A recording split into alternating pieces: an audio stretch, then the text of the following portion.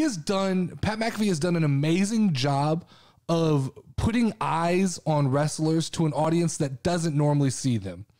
He he, he his interview style by far is my favorite interview star, and I and I watch him on a regular basis for his football insights. Mm-hmm. But the way he interviews these wrestlers, he gets them to open up in ways that they don't open up in other outlets, right? A lot of wrestling podcasters, and this is, I'm going to get shit on for this.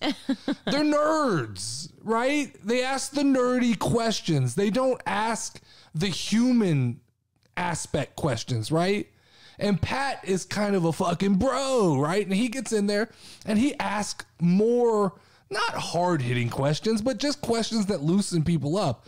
And seeing Brock Lesnar, it, it shined a whole different light on him to me, right? Mm-hmm. Brock just looks like a guy who was enjoying. He enjoyed being there. He enjoys wrestling. He enjoys what he's doing. I thought that Brock Lesnar interview was just fucking amazing.